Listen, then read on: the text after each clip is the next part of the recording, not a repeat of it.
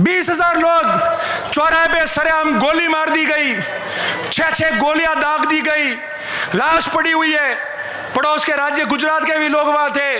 अमर सिंह भाई साहब भी पधारे हैं। गुजरात से उनका भी धन्यवाद। लीजिए श्री रतन जी देवासी।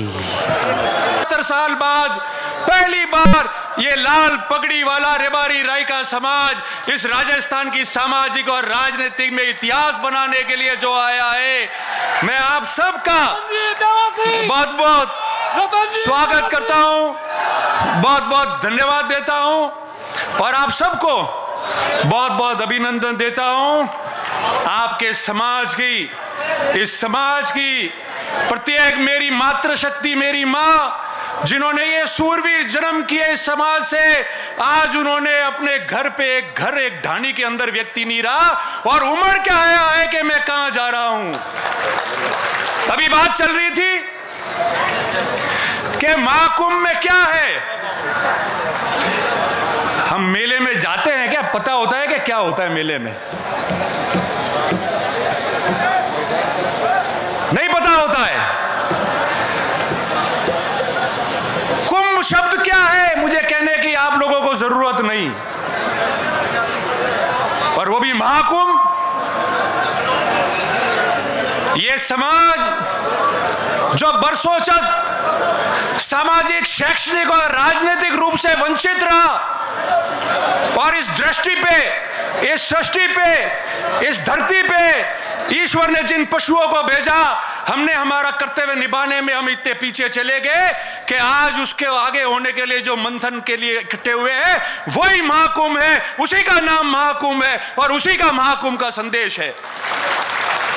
आज मेरे कई आदरणीय वरिष्ठ जन यहाँ बैठे हैं। सारे मेरे नौजवान लोग, माताओं, बहनों, मेरे आदरणीय बुज़ुर्ग, हमारे पत्रकार मित्र, सब लोग यहाँ बैठ के पूरे राजस्थान को ये नज़ारा बता रहे हैं। साथियों, महाकुंभ क्यों बुलाया? राजस्थान की सामाजिक और राजनीतिक जीवन में आपने प्रत्येक पाँच साल में देखा होगा कि विभिन्न समाज जयपुर या जोधपुर में एकत्रित होकर अपनी समाज की ताकत बताते हैं, अपनी बात करते हैं, अपनी चर्चा करते हैं और इस राजस्थान के सामाजिक और राजनीतिक जीवन में अपना संदेश पहुंचाते हैं। हम तो आज इकट्ठे हुए सतहत्तर साल बाद। और इकट्ठे हुए तो कैसे हुए? इकट्ठे हुए तो ऐसे हो गए कि पूरे मुल्क के अंदर शाम तक इसकी चर्चा होने लग जाएगी कि हम इकट्ठे ऐसे हुए। तीन दिन पहले हमने सोशल मीडिया पे इन हमारे युवा मित्रों ने ट्रेंड चलाया था। और कितने मिनट रहा?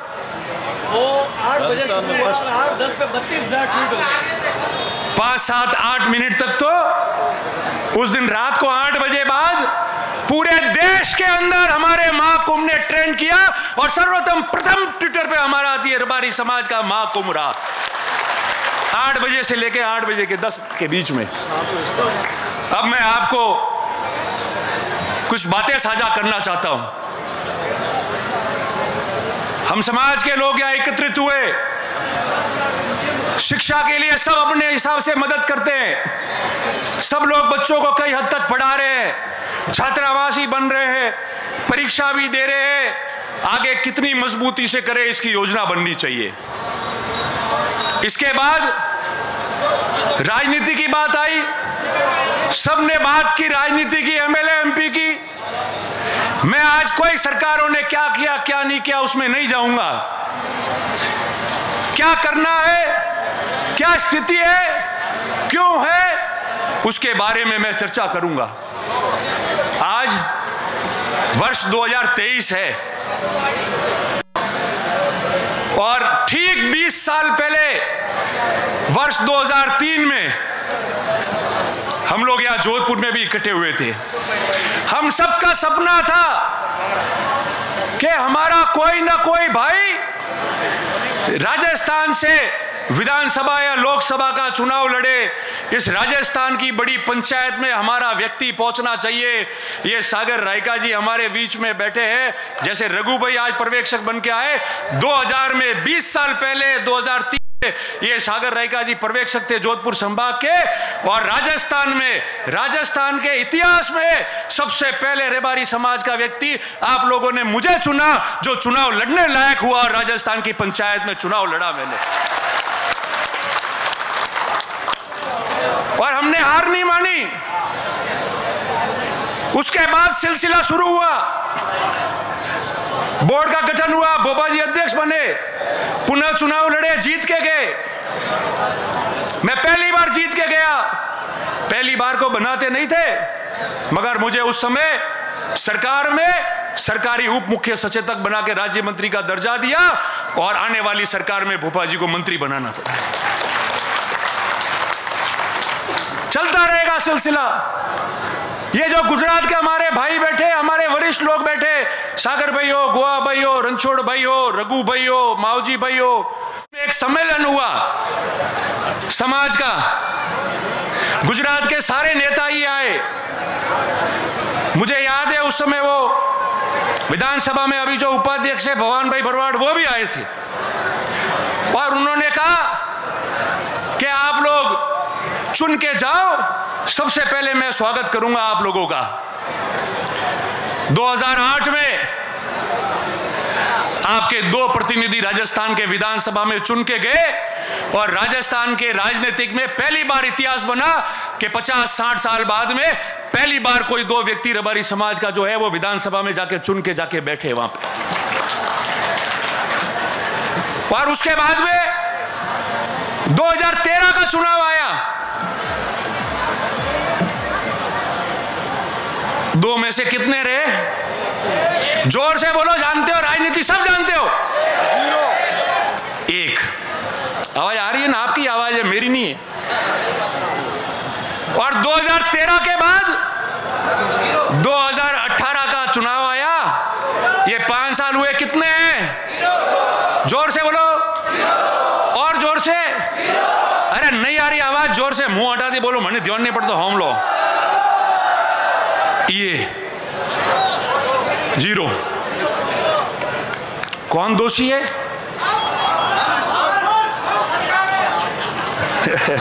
वो क्यों आए हो नहीं आप लोग दोषी नहीं हो जो भी नेतागिरी करते हैं नेता मेरे समेत वो सब दोषी है आप में से कोई दोषी नहीं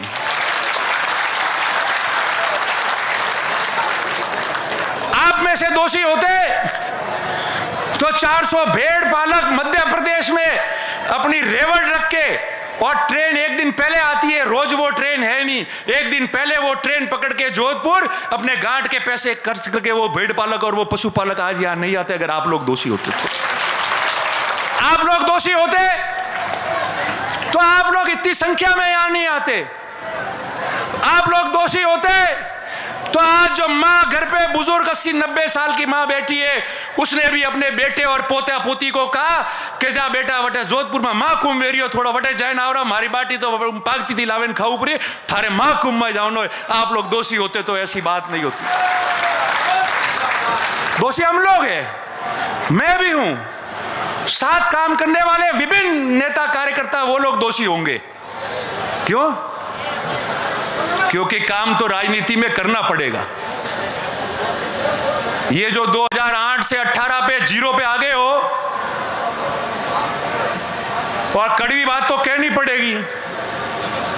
कड़वी बात कह के मैंने नुकसान उठाया है? उसकी कोई परवाह नहीं है।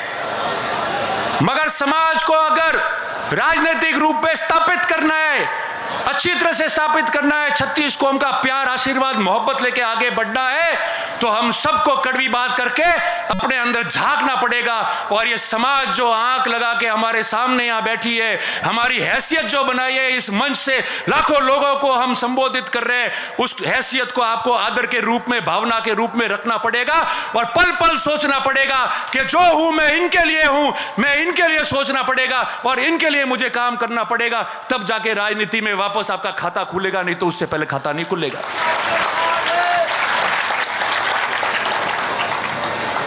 और रोज काम करने की बात है।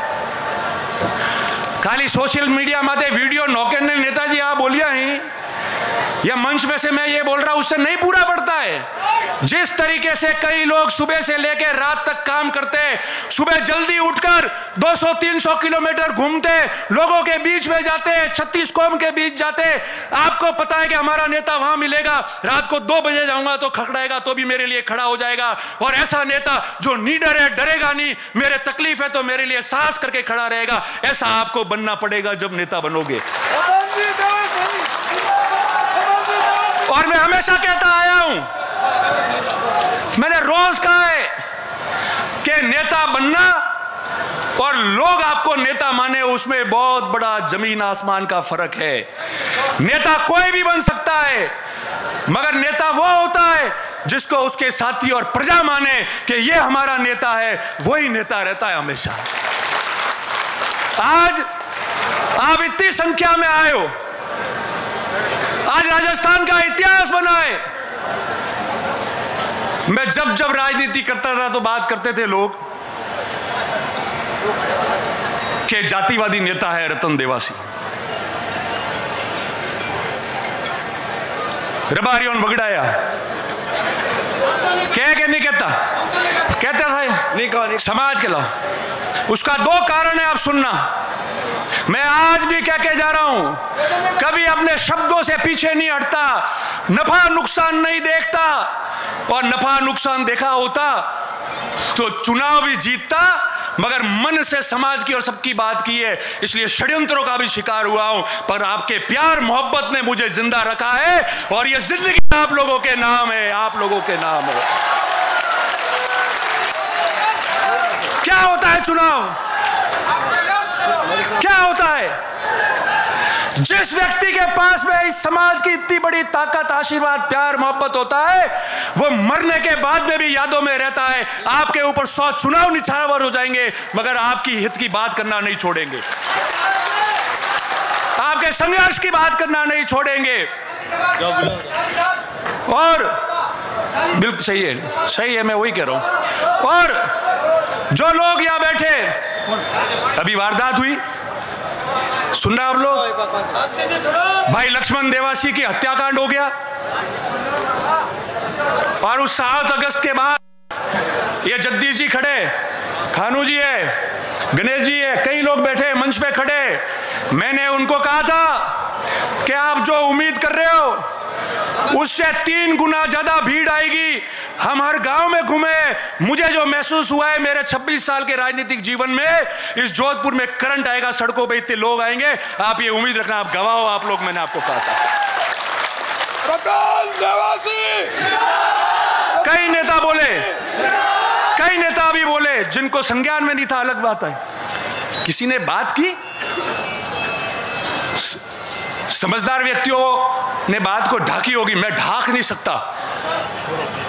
क्योंकि मेरा जज्बा वो रहा है, और उसी में खुद को नुकसान किया है। मगर प्रवचन देके ज्ञान अधिकतरों ने दिया हमारे मेहमानों को छोड़कर। इस पे बोला कोई? इस पे बोला जिस दिन मैं बोला था, मुझे आज तक सैकड़ों लोगों ने कहा, सर, इतना खुला मत बोलो। आपकी जान को भी खतरा हो सकता है, मैंने पहले कहा था यह जीवन, इस समाज और छत्तीस कौम के नाम है। जो होगा उसका सामना करूँगा। मैदान छोड़कर मैं नहीं जा सकता।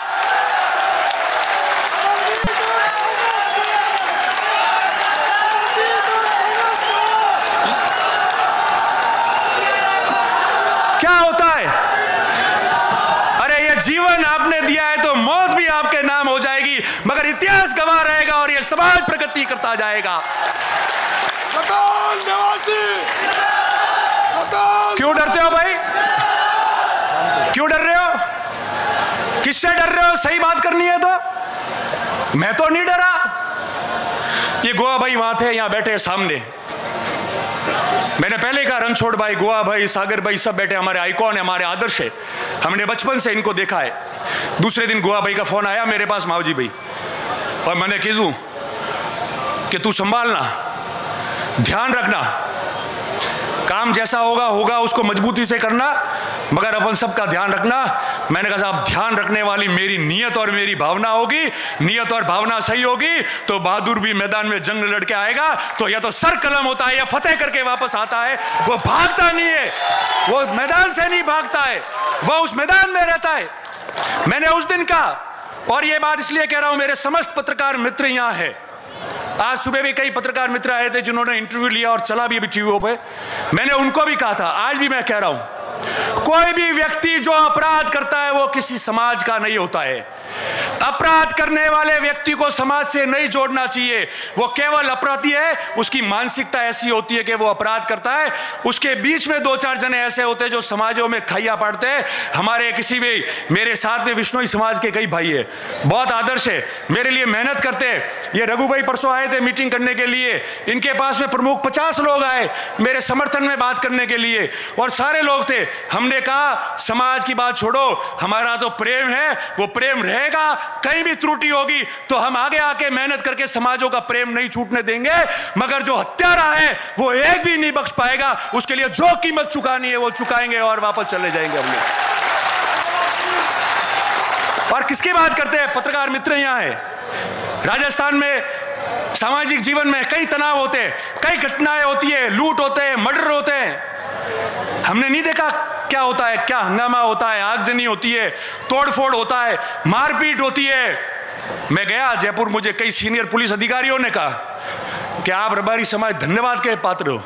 बीस हज़ार लोग लाश पे बैठे रहे, मगर एक व्यक्ति ने न तो नौकरी मांगी, ना पैसा मांगा, न कोई काम मांगा, न हल्ला किया, न किसी संपत्ति को कभी देखा ऐसा?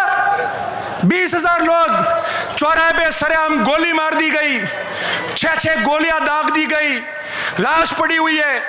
पड़ोस के राज्य गुजरात के भी लोग वहाँ थे। और किसी प्रकार का हंगामा नहीं हुआ? ईमान से कह रहा हूँ, जो भी मेरे साथी नेता है, जो भी हो, बैठ के आए, उनका धन्यवाद आप श्रद्धांजलि दे के आए। मगर सही बात को वह प्रशासन को मिलकर और कैमरे पे आके बोलने की आपको रखना पड़ेगा। केवल सिर्फ़ बोल के व्हाट्सएप पे लिखने से कोई काम नहीं होगा। ये प्रजा अपने साथ है, नेताओं को भी देख रही है, हमको हमारा दायित्व का निर्वहन करना पड़ेगा। वोट आते जाते, चुनाव समीकरण और तकदीर से जीते जाते, मगर जिस महाकुंभ की सौगंध लेके आप जा रहे हो, जो सतहत्तर साल बाद आज आप इकट्ठे हुए हो, वो इसलिए इकट्ठे हुए हो कि हम लोग इनकी आगेवानी कर रहे और ये कैसे आगे बढ़े, उसकी बात कर रहे हैं। अगर उसमें नीयत में कोई भी खोट आएगी तो आज से प्रतिज्ञा है कि जो भी व्यक्ति, जो समाज का काम कर रहा है, आगेवान है जो नेता है, जो कोई भी व्यक्ति है, अगर उसके एक परसेंट भी समाज के काम में और आगे आने में खोट आ जाएगी तो भगवान जैतेश्वर और महादेव उसको देखेगा और ये समाज उसको अंत देखेगी। अब कह रहे पहले कह रहे थे, मेहनत कैसे हुई? क्या किया? हम में से, हम में से कई लोग तो आके बोले हैं आज। आज भाषण दिया है। पर उस व्यक्ति को भी याद करो जो इस गुजरात के बॉर्डर से, हाड़ोती से, नागौर, बीकानेर शेखावटी से, मेवाड़ से और पाकिस्तान के पास रण से हज़ारों हज़ारों लोग गाड़ियों में, बसों में अपने घर का खर्चा डाल के आए। अरे, नमन है ऐसे लोगों को, आपने जन्म दिया। मैं तो खुद गौरवित हो गया कि आज इस समाज में हम लोगों ने जन्म हुआ है। आप सबको बहुत साधुवाद और बहुत धन्यवाद आप लोगों को।